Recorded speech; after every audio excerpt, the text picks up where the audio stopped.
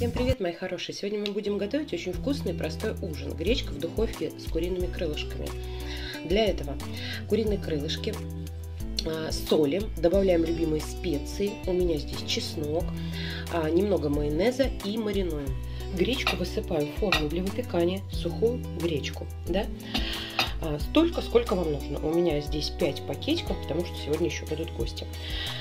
А, нарезаем мелко морковку, нарезаем мелко яблочко. Добавляем любимые специи, соль и так далее. И все тщательно перемешиваем. Можно предварительно морковку с луком пассеровать. А, но у меня будет более диетический вариант и в нем не будет лука. Так будет еще вкуснее. Ну, типа гречки по-купечески, да? Солим, перчим, добавляем любимые специи. Того, как мы все перемешали, заливаем водой, чтобы она покрывала нашу с вами смесь. Вот так. Еще раз немножечко перемешаем. Вкладываем сверху крылышки. Аккуратненько, чтобы они у нас с вами там утонули. Воды сильно много тоже не надо.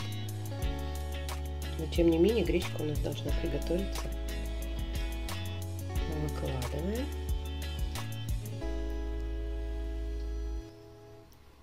Накрываем фольгой и ставим готовиться в духовку 180-200 градусов на 40-60 минут. Все зависит от вашей духовки. Вот так. Всем приятного аппетита!